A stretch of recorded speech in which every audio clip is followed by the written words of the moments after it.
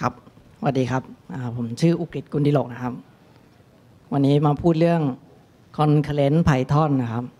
ก็จะมาแนะนำเกี่ยวกับการเขียนโปรแกรม Python ให้มันทำงานหลาย ๆ งานพร้อม ๆ กันนะครับมันมีเทคนิคอะไรประมาณไหนบ้างมีกี่แบบ แล้วก็แต่ละแบบเนี่ยเหมาะกับอะไรยังไงครับ ตอนนี้ทำงานผมทำงานเป็น technical lead อยู่ที่ Kaidee ครับเว็บ Kaidee ก็คนไทยก็น่าจะรู้จักกันอยู่แล้วนะครับ เว็บ Kaidee เรามีเป็นเว็บ classified platform คือเว็บขายของก็ใครมาลงขายก็ได้ traffic ค่อนข้างเยอะเรามีคนไทยมาใช้งานประมาณ 35 ล้านคน มีของขายอยู่ 12 กว่าละ12 ล้านชิ้นประมาณนี้ครับทราฟฟิกค่อนข้างเยอะอยู่มาเริ่มเลยดีกว่า สิ่งที่จะพูดวันนี้นะครับ หลักๆเนี่ยก็จะมีอยู่ประมาณ 3 อย่างสามเทคนิคละกันที่ที่ภาษา Python สามารถเขียนโปรแกรมให้มันทำงานหลาย ๆ งานพร้อม ๆ กันได้นะครับ อย่างแรกก็จะเป็น multi thread แตก thread ออกไปครับ อย่างที่สองก็แตก process ครับแล้วก็อันสุดท้ายคือจะเป็น event loop ตัวนี้อาจจะดูใหม่สักนิดนึงนะครับ event loop นี่ก็อาจจะผมจะพูดรวมๆไปถึงพวกทั้ง future coroutine อะไรประมาณนี้ด้วยนะครับ ก็จะมีศัพท์อาจจะมีศัพท์อะไรประหลาดๆโผล่มาบ้าง ก็อาจจะอธิบายได้ไม่ครบทุกอัน แต่ว่าขอให้เราได้ keyword แล้วเดี๋ยวเรามาคุยกัน แล้วก็ไปดูต่ออะไรอย่างนี้ได้อะไรอย่างนี้นะครับ เป็น session แนะนำซะมากกว่าก็โชว์ตัวอย่างอะไรอย่างนี้ ตอนสุดท้ายเนี่ยเดี๋ยวจะมีพูดเกี่ยวกับว่าที่ขายดีเราใช้อะไรบ้าง แล้วก็ใช้ยังไงเคสเป็นแบบไหน เราใช้ให้มันเหมาะสมยังได้ยังไงนะครับ เริ่มกันที่เรื่องแรกก่อนเลย multi thread นะครับนะก็คิดว่าถ้าถ้าเขียนโปรแกรมกันมาสักระยะนึงเนี่ยน่าจะรู้จักกันอยู่แล้วแหละ multi thread นะครับ thread มันก็คือเป็นถ้าเอาคร่าวๆมันก็คือเป็น lightweight process ก็คือเราแตกเหมือนเป็นตัวไอตัวรันงานอะแตกออกมาหลาย ๆ ตัวนะครับแต่มันอยู่ใน process เดียวกัน เราเปิดโปรแกรมขึ้นมาหนึ่งโปรแกรม เราจะได้หนึ่ง process ในหนึ่ง process เราสามารถมีได้หลายเทรดประมาณนี้นะครับ ข้อดีข้อเสียของเทรดเวลาเราเขียนเทรดขึ้นมาเนี่ยมันเหมาะมันดียังไงมันมันมันไม่ดียังไงนะครับ ข้อดีคือมันมันค่อนข้างเบา หมายถึงว่าเวลาเราแตกเทรดออกมาหนึ่งเทรดกับแตก process ออกมาหนึ่ง process เนี่ยแตกเทรดเบากว่าแตก process เพราะมันใช้ทรัพยากรเครื่องน้อยกว่า น้อยกว่ามากนะครับเพราะฉะนั้นการเปิดเทรดปิดเทรดก็จะเร็วกว่าการใช้ process นะครับนะแล้วก็ มันใช้ได้ดีกับเคสที่เป็นพวกเกี่ยวกับงาน I/O ก็คืองานที่มันต้องต่อดิสต่อซ็อกเก็ตเปิดไฟล์เปิดยิง API อะไรพวกนี้นะครับใช้ thread จะค่อนข้าง effective เปิดได้ง่าย ปิดได้เร็ว ไม่กินพลังเครื่องเยอะ สมมติคุณมี API ที่ต้องการรับโหลดเข้ามา มี API ที่รับโหลดเข้ามา แล้วก็ยิง API อื่นต่ออะไรอย่างเงี้ยนะครับก็ใช้เปิดเทรดเอาเพราะมันไม่ได้ทำงานอะไรเยอะครับ มันแค่แค่ยิงไปแล้วก็รอเคสนี้เราก็ใช้เทรดอันสุดท้ายคือข้อดีอีกข้อหนึ่งของเทรดก็คือมันเนื่องจากมันอยู่บน process เดียวกัน มันก็อยู่บน memory space เดียวกัน เพราะฉะนั้นมันก็จะ ดึง Data กันได้ง่าย ระหว่างเทรดนะฮะ overhead จะค่อนข้างน้อย เนื่องจากมันอยู่ memory space เดียวกันเนาะการ access data ข้ามกันไปข้ามกันมาเนี่ยก็ง่ายกว่า มัน access ได้ตรงๆ แต่ก็ต้องระวังนิดนึง เพราะว่าเนื่องจากมันทำงานสองอันสามอันพร้อม ๆ กัน ถ้าเราไปไป access data ตัวเดียวกัน พร้อม ๆ กัน ถ้าไปอ่านอย่างเดียวคงไม่เป็นไร แต่ถ้าจะไปเขียนมันพร้อมกันเนี่ย เราก็จะไม่รู้แหละตัวไหนเขียนได้ ตัวไหนเขียนได้ได้ก่อนได้หลัง แล้วสุดท้ายแล้วควรจะเป็นยังไง อะไรอย่างนี้ อันนี้เป็นข้อควรระวังนะครับ Data มันง่าย แต่มันก็พังง่ายเหมือนกัน ถ้าเราไม่ระวังให้ดีข้อเสียข้อเสียคืออะไร เราพูดถึง memory ไปเมื่อกี้ว่าแตกหลาย thread อยู่บน process เดียวกัน ใช้ memory space เดียวกัน แต่เนื่องจากมันอยู่บน process เดียวกันนี่แหละ มันก็เลย มี memory จำกัด เนื่องจากว่า1 process มันก็อ่าน memory ได้จำกัด มันก็มี max memory ของมัน แล้วแต่ CPU architecture แล้วแต่ OS ที่จะเรียกได้นะครับ เพราะฉะนั้นก็เลยถ้าเกิดเรามีงานที่มันต้องอใช้ memory เยอะๆเปิดการประมวลผลแต่ละอย่างมันต้องใช้ memory เยอะๆเนี่ยการใช้ process ก็อาจจะไม่เหมาะเอ้ใช้ thread ก็อาจจะไม่เหมาะขอโทษ ครับอันนี้ก็ข้อสุดท้ายบอกว่าถ้าถ้าใช้ CPU เยอะ ก็อาจจะไม่เหมาะเหมือนกัน เนื่องจากมันอยู่บน process เดียวกัน ทีนี้ไอ้ข้อนี้เนี่ยอาจจะขัดกับของภาษาอื่นอยู่สักเล็กน้อย เพราะว่าถ้าเป็นภาษาอื่นที่ไม่ใช่ภาษา Python คุณแตก thread ออกมาหลายๆ thread มันสามารถเอาไป run บน CPU ได้หลาย ๆ ตัวถูกไหมครับอ่ามันเป็นมันเป็น lightweight process คือมันทำงานเหมือน process อะมันแค่มี ข้อจำกัดต่างกันนิดหน่อย แต่สำหรับภาษา Python มันไม่ใช่ เพราะอะไรครับ Python มี GIL คือตัวย่อชื่อ GIL นะครับ ตัวเต็มคือ global interpreter lock ตัวนี้คนที่เริ่มเขียนภาษา Python แรก ๆ อาจจะยังไม่ไม่ค่อยคุ้นหูกับมันเท่าไหร่นักครับแต่ว่าถ้าถ้าเรา ต้องการจะเขียนโปรแกรมที่มัน high performance หรือว่ารีดพลังงานของโปรแกรมของเครื่องให้ได้เยอะๆเนี่ยตัวนี้น่าจะต้องรู้จักนะครับ เนื่องจากการทำงานของกิลคืออะไร global interpreter lock มันคืออะไรนะครับ ในหนึ่ง process เวลาเราเปิดขึ้นมา Python process เปิดมาปุ๊บมันก็จะมี interpreter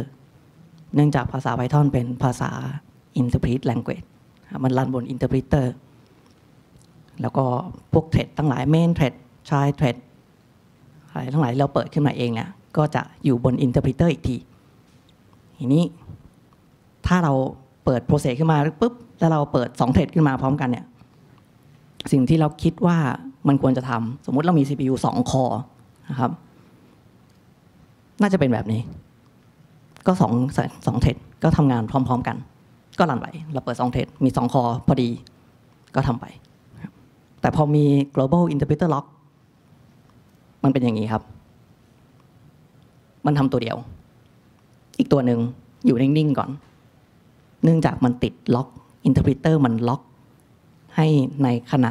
ในเวลาใดเวลาหนึ่ง มีแค่เทรดเดียวที่ทำงาน เท่านั้น ตัวนี้เป็น limitation อยู่ในตัว implementation ของภาษา Python เลยอยู่ใน C Python ภาษา C ตัว C Python เอ่อมันมีข้อดีหลายอย่าง อันนี้มันเป็นข้อเสียเนาะที่แบบบอกว่า เราอุตส่าห์เปิดเทรดมาแล้วอะมันดันดันรันได้ตัวเดียว เราคิดว่ามันต้องรันได้พร้อมกันสิมันรันได้ตัวเดียว นี่เป็นข้อเสีย แต่ข้อดีของมันมันก็มีก็คือมันก็ช่วย simplify ไอ้โค้ดของ C Python นะครับมันมันทำให้ decision หลาย ๆ อย่างในการ implement C Python เนี่ยมันง่ายขึ้น แล้วก็เคยมีการพยายามเอา global interpreter lock ออก จากตัว C Python มีเขาเคยลองทำกันมาเมื่อ ผมจำเวลาไม่ได้ น่าจะสองสามปีก่อนมั้ง ซึ่งเขาลองเสร็จปุ๊บเนี่ย เอาออกได้ แต่ performance ตก เนื่องจากมันทำให้โค้ดมัน complicate ขึ้น performance โดยโดยรวมมันตก ตอนนี้ก็เลยยังอยู่ ตอนนี้มันก็เลยยังอยู่นะครับ3.6แล้วมันก็ยังอยู่ครับ3.7ไม่แน่ใจ ออกหรือยังยังมั้งนะครับแต่ทีนี้ ไอ้ตัวนี้มัน แล้วมันเราไม่ควรจะใช้มันเลยหรือเปล่า พอมันมี global interpreter lock แล้วเนี่ย เทรดดูไม่มีประโยชน์เลยหรือเปล่า ไม่ใช้เลยไหม ก็ไม่ถึงขนาดนั้นนะครับ เนื่องจากว่า use case ของเทรดมันคืออะไรครับ มันคือ เราบอกว่าใช้ I.O. เยอะเนาะ I.O. คือเรายิงไปแล้วรอ เพราะฉะนั้นมันจะล็อกก็มันก็รออยู่ดีอะมันก็ปกติเราก็ยิงไปแล้วก็รออยู่แล้วแล้วมันจะล็อกกึบก็เราก็ไม่ค่อยกระทบอะไรเท่าไหร่ เพราะเราไม่ได้ใช้กับพวกที่เป็นที่ที่มันต้องรันตลอดเวลา เราเปิดเทรดมาเพื่อไปรอครับ มันก็โอเคอยู่ใช้ได้อยู่ไม่ได้ถึงกับแย่มากนัก เราแค่ต้อง ต้อง aware ต้องรู้ว่ามันมีนะครับในบางในบางครั้งเวลาเรา troubleshoot ปัญหาต่าง ๆ อย่างเงี้ยเราอาจจะถ้าเรารู้ว่ามันมีตัวนี้อยู่อะล็อกอะไรต่าง ๆ ที่มันปริ้นออกมาบางครั้งอะมันจะเริ่ม make sense เฮ้ยทำไมตัวนี้มันปริ้นแบบนี้ทำไมมัน execute แบบนี้ เพราะมันมีตัวนี้ติดอยู่ครับนะนะถ้าก็ดูโค้ด example กันสักนิดหน่อยนะครับ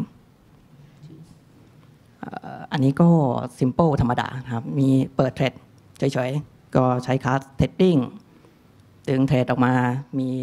เว็บอยู่ 3 เว็บ แน่นอนขายดีขึ้นอันดับแรก แล้วก็เดี๋ยวผมจะ request ไป แล้วก็ง่ายๆ ก็แค่ปริ้นออกมาว่ามันมีกี่กี่ใบเฉยๆนะครับ วิธีการเขียนแบบถ้าเขียนภาษาอื่นอะแม่งยากอยู่นะผมจะเขียน thread ภาษาอื่นก็ลำบากอยู่ เขียน thread Python ง่าย ก็มี thread บอกว่า run มี thread แล้วบอกว่า run อะไร argument อะไร สั่ง start join จบแล้ว แล้วก็ปล่อยมัน run ไปครับ เดี๋ยวมันก็กลับมาเอง ทีนี้เมื่อกี้คือเปิดเทรดธรรมดา ทีนี้ลองมาดูแบบเป็นเทรดพูลนะครับเทรดพูลก็ไม่ได้ยากกว่ากัน มันก็มีคลาสให้ใช้เรียบร้อยแล้ว แล้วก็เรียกแค่นี้เอง สร้างเทรดพูขึ้นมา บอกว่าเอากี่เทรดแล้วก็สั่งแมปก็คือเอาไอ้ของในเนี้ยแตกมาทีละตัวเข้าไปเฟชเข้าไปทำงาน ข้างในนี้ก็เรียกง่ายๆก็ต้องเก็ตปินนะครับไอ้ตัวเนี้ยผมว่าภาษา Python ทำให้เราชีวิตเราง่ายขึ้นมากนะครับ คือแบ็กกราวผมเขียน C++ มา การเขียน C++ จะทำเทรดพูไม่ง่ายนะครับ ต้องมี acquire trade release trade เนื่องจากเราต้องทำพูก่อนเนาะกำหนดก่อนว่าไม่มีกี่เทรดเราต้องดึงเทรดออกมา เสร็จแล้วใช้เทรดปุ๊บก็ต้องรีลีสกลับเข้าไปให้เข้าพูต้องทำคิวด้วย ถ้าเทรดมันเต็ม งานเข้ามาเยอะเกินเทรดทำยังไง ต้องมีคิวข้างในอีก Python แค่เรียกคลาสมาเรียก Object มาหนึ่งตัว โยนงานเข้าไป เดี๋ยวมันจัดการให้หมดเลยนะครับ ตอนนี้ผมใส่บอกว่ามี3เทรดผมมี3เว็บมันก็พอดีอะ แต่ถ้าผมใส่เข้าไป6เว็บสิ่งที่มันทำก็คือมันก็ทำสามเว็บแรกก่อน เสร็จแล้วถ้ามันว่างตัวหนึ่งเดี๋ยวมันก็เอาเว็บที่สี่เข้าไปทำต่อค่อนข้างง่ายครับนี่ก็ต่อไปเรื่องต่อไปจะเป็นเรื่อง multi process และทีนี้ เรื่องเทรดสิ่งที่น่ารู้น่าจะก็น่าจะประมาณนี้นะครับนี้แต ก process process นี่น่าจะเข้าใจง่ายกว่าเทรดเนาะเพราะว่ามันก็คือเราเราเปิดโปรแกรมขึ้นมาหนึ่งตัว มันก็มีหนึ่ง process อะทีนี้ถ้าสมมติว่าโปรแกรมเราต้องการคำนวณอะไรที่มันเยอะๆ จะใช้การคำนวณเยอะๆเนี่ยใช้หนึ่ง process มันก็ช้าถูกไหมฮะเราก็จะแตกหลาย process คือหนึ่งหนึ่งโปรแกรมเราเราก็แตกหลาย process ได้ เรามี child process หลายๆอันก็ได้ข้อดีก็คือ performance มันดี เนื่องจาก มันมันเป็น process หนึ่งตัวเลย มันกินมันมี memory space ของตัวเอง มันมีคอมพิวมันสามารถไปรันได้ในหลาย ๆ คอของมันเองนะครับ take advantage of multi core ตัวนี้นี่ถ้าเกิดเราทำการคำนวณเยอะ ๆ แล้วด้วย CPU ที่เรา architecture ที่เรามีตอนนี้เนี่ย การใช้แบบนี้ก็จะเหมาะมาก เนื่องจาก architecture CPU เราตอนนี้คล็อกมันก็ไปไม่ถึงไหนแล้วเนาะคล็อกมันก็เต็ม ๆ อยู่ ไม่ค่อยขึ้นแล้ว แตกคอเอาแทน แต่ละ core เพราะฉะนั้นพอเราแตก process process ไป run ได้แต่ละ core มันก็จะรีด performance ของเครื่องที่เรามีได้มากขึ้นนะครับแล้วถ้าเรามีหนึ่ง process เราเราอยากให้มัน run เร็วขึ้น โดยที่เราไม่ optimize code สิ่งที่เราทำได้คือเพิ่ม clock speed ซึ่งตอนนี้มันก็เพิ่มไปไหนไม่ได้แล้ว มันมันไม่เห็นมันจะขึ้นสักเท่าไหร่เลยครับ แล้วก็ มันไม่มี limit จาก GIL เพราะ GIL มันล็อกที่ interpreter interpreter มันอยู่บน process พอเราแตก process มันก็คนละ interpreter มันก็เลยไม่ล็อก ก็โอเค มันก็ไป run หลาย core ได้ปกติ ก็เป็นอย่างที่เราคิดว่ามันควรจะเป็นตัวนี้ไม่มีไม่มีปัญหาอะไรนะครับข้อเสียคือ ก็ตรงข้ามกับ thread ครับ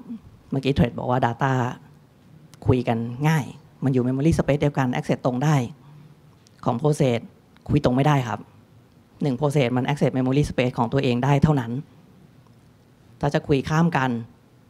ก็ต้อง serialize ข้อมูล จาก Process หนึ่งไปให้อีก Process หนึ่งมันก็จะมี overhead ตั้งแต่การ serialize ข้อมูลลงไปที่คอมมูนิเคชันตรงกลางเนาะระหว่างโปรเซสแล้วก็ memory มันก็จะเป็น Copy ด้วย เพราะว่ามันก็จะมี memory อยู่ทั้ง process หนึ่งและ process สองนี่ แล้วไอการ serialize ลงไปเนี่ยอของ Python มีมีของที่ช่วยเรานิดหน่อย ก็คือมันจะมีโมดูลชื่อ Pickle P I C K L E ตัวนี้มันจะเป็นตัว Serialize Object ลงไปเป็น Data Stream เพื่อที่จะส่งผ่านระหว่าง process หนึ่งไปอีก process หนึ่งแต่มันก็มีข้อจำกัดนะครับ มันมันไม่ใช่สีอะไรได้ทุกอัน คือถ้าแบบเป็นเป็นของ simple simple อะไรเงี้ยตัวแปลงง่ายๆ มันก็สีอะไรได้ ถ้าเป็น class หรือเป็นอะไรที่มันซับซ้อนหน่อยมี static method มีนู่นมีนี่อะไรเงี้ยที่มันยากๆ มันซับซ้อนนิดนึงอะมันจะสีอะไรไม่ได้ Pickle มันจะฟ้องออกมาบอกสีอะไรไม่ได้ อันนี้เราก็ต้องหาทาง อาจจะต้องพยายาม export มันออกมาเป็น JSON เป็นเทคก่อน แล้วค่อย serialize ลงไปหรืออะไรอย่างนี้ แล้วก็ไป deserialize กลับมาเองอีกที ซึ่งก็ไม่ง่าย เพิ่ม overhead เข้าไปอีกนะครับเพราะฉะนั้นสิ่งที่ถ้าเราจะแตก process เนี่ยมันก็เลยน่าจะเป็นพวกงานที่มันทำงานได้อิสระกันอะอย่าให้มันมี Data คุยกัน Data คุยกัน ถ้า Data คุยกันเยอะ ๆ ไปใช้ thread เด้อแต่บางทีมันก็ไม่ได้เนาะหลายๆอย่างเราก็มีมันเรารู้ว่ามีข้อจำกัดละกัน แล้วก็เลือกใช้ให้ถูก อันสุดท้ายก็ใช้ resource ของเครื่องเยอะกว่า การเปิด process หนึ่ง process กิน mem เยอะกว่า กิน CPU เยอะกว่า การ destroy ก็กินใช้เวลานานกว่าครับไอตัวนี้มันจะหลีดไปถึงไปถึงในตัวอย่างเมื่อกี้ผมจะมีโชว์ว่ามันมีการสร้างเทรดขึ้นมาแบบเราเราสร้างเองถูกไหมฮะเราอยากสร้างกี่เทรดก็สร้างไป แล้วก็ทำเป็นเทรดพูลตัวนั้นเนี่ยอาจจะไม่ยังไม่ค่อยเห็นถึง ความแตกต่างอะไรเท่าไหร่ ถ้าลองรันดูนะ เวลามันก็จะใกล้ๆกันนั่นแหละ ไม่ค่อยไม่ค่อยเห็นผลอะไร แต่ถ้าเราเกิดเรามาใช้การแตก process อย่างเงี้ย การแตก process แบบแตกเองแตกไป 20 process กับการใช้บอก process pool แล้วค่อยให้มันทำงานเนี่ย process pool จะเร็วกว่ามาก เนื่องจากมันสร้างครั้งเดียว แล้วมันก็ reuse reuse ถูกไหมฮะทำไมมันถึงได้เป็นอย่างนั้นก็มาเพราะว่าข้อจำกัดเรื่องพวกนี้ code example เนื่องจากมันทำการคำนวณดี example เราก็เลยเช็ค prime number คำนวณเยอะ ไม่ต้องไปดู logic มันก็ได้นะครับ ผม copy มาจาก python.org ผมแค่มาเปลี่ยนข้างล่างเฉยๆเพราะฉะนั้นไอ้พวกลอจิกพวกนั้นทำงานถูกแน่นอนอยู่บน Python.org ชัวร์คล้ายๆกันครับ เวลาเขียนเขียนเทรดกับโปรเซสของ Python เนี่ยคล้ายๆกัน เพราะนั้น เนี่ยมันก็มี start มี join เนี่ยก็เลยมันมันเป็นหนึ่งเหตุผลที่ที่อยากจะมาพูดในวันนี้ด้วย เพราะว่าพอบางคนเห็นเห็นโค้ดตัวอย่างเนี่ยก็จะบอกเออมันก็เหมือนเหมือนกันเลยว่ะแล้วก็ใช้อันไหนก็ได้ปะอย่างนี้ครับ มันก็ไม่ได้ใช้เหมาะกับทุก ๆ อันนะครับ อันนี้เปิด process ธรรมดา process pool ก็มีคลาสให้เหมือนกันอยู่อยู่ในโมดูลชื่อ multiprocessing นะครับ pool เมื่อกี้ thread pool ตัวนี้จะเป็น thread pool อันนี้ pool ก็ process pool จะชื่อ pool เฉยๆเหมือนกันเลย with แล้วก็สั่ง pool มีกี่ process ก็บอกไป แล้วก็สั่งทำงาน จบ simple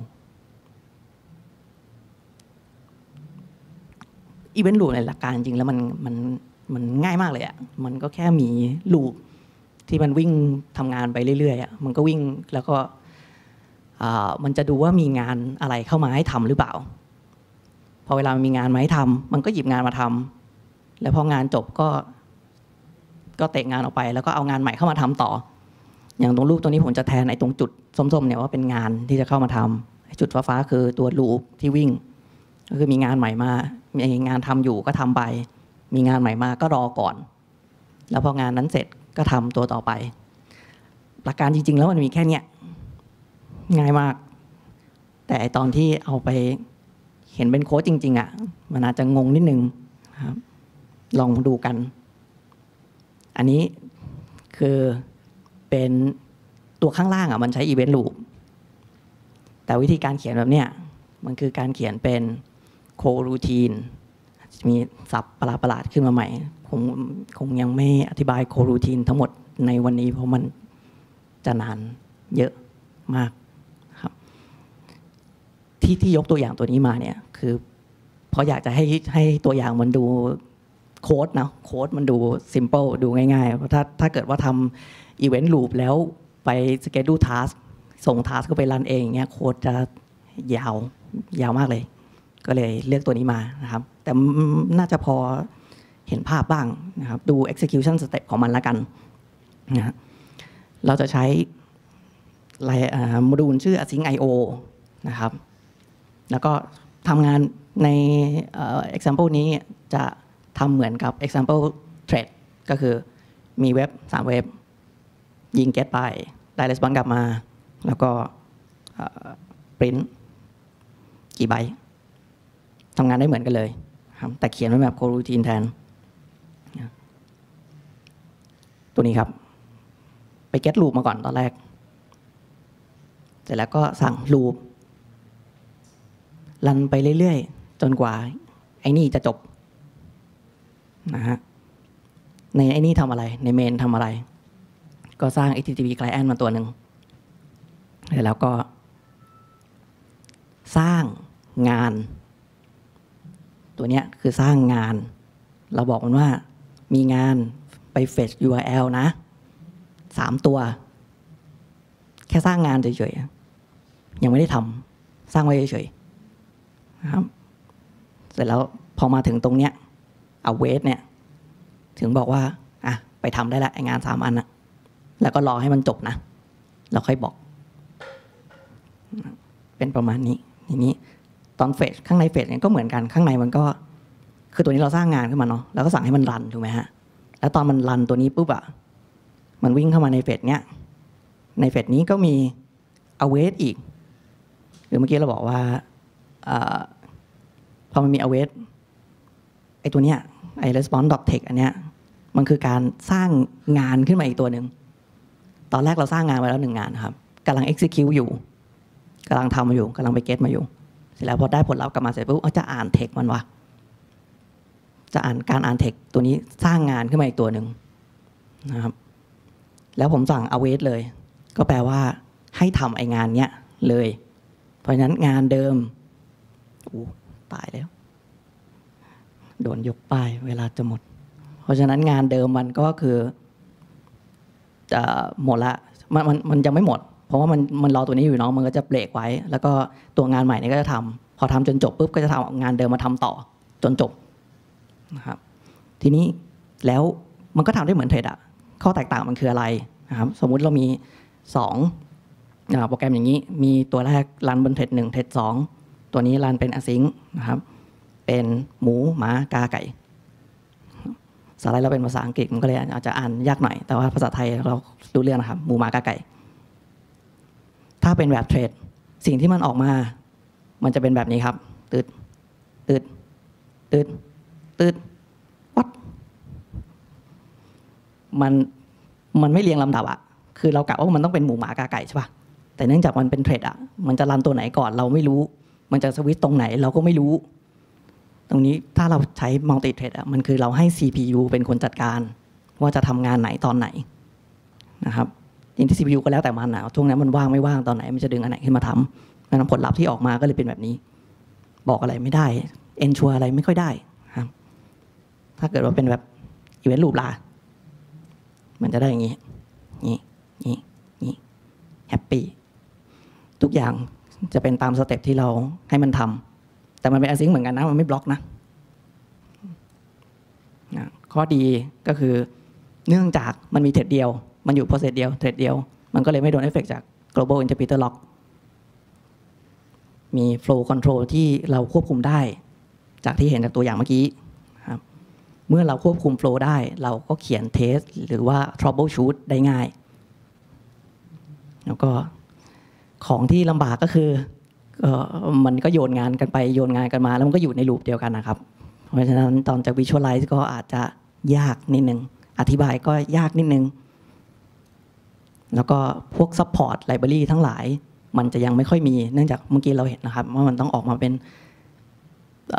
มันต้อง await ได้อะมันมันจะมีคลาสที่ที่มี library ที่มันต้อง return ของที่มัน await ได้ครับทีนี้ เมื่อ support library มันน้อย เราทำไง เราก็ไปใช้ไอ้ของที่มันไม่ของเดิมที่เราใช้นั่นแหละ แต่ Python จะมีโมดูลตัวนี้ช่วย โมดูลชื่อ concurrent นะครับ วิธีการคร่าว ๆก็คือก็เราก็ไปตรงนี้ผมใช้ library request เหมือนเดิม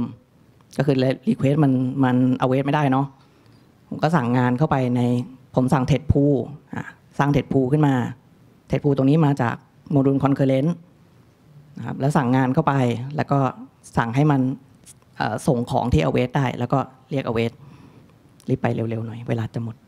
นะครับแล้วเมื่อไหร่ถึงจะเรียกอะไรนะครับ ถ้าคำนวณเยอะๆ ไปใช้ process ครับ I/O เยอะๆ ไปใช้ trade ครับ I/O เยอะมาก ใช้ event loop เลยครับ แล้วก็ที่ขายดีเราใช้อะไรบ้างนะครับ ใช้หมดเลย ถ้าเรางานเรามีหลายอย่าง เราใช้ process ทำอะไรบ้างเราก็ตัว API ทั้งหลายเราก็มีใช้ process เนื่องจาก process มัน CPU เรามีหลายคอ เพราะฉะนั้นเราก็ต้องแตก process แหละเพื่อกิน CPU ให้หมดนะครับแล้วก็เอาไปใช้พวกตรวจคำที่มันไม่เหมาะสม เนื่องจากการสแกนเทคมันใช้ CPU เยอะ เราก็ใช้ process นะครับตัวไหนใช้เทรด API ทั้งหลายมันยิง API อื่น เราก็ใช้เทรดนะครับพวกทำรูปทำรูปเซฟทั้งหลายมันก็เป็น I/O เราก็ใช้เทรด แล้วก็ยิง API อื่นนะครับตอนใช้ Event Loop คือพวกรับครับ พวกรับไมสเซจเยอะๆทั้งหลายนะครับ แล้วก็พวก API นะครับ หมดแล้วครับ จบ ตัดจบ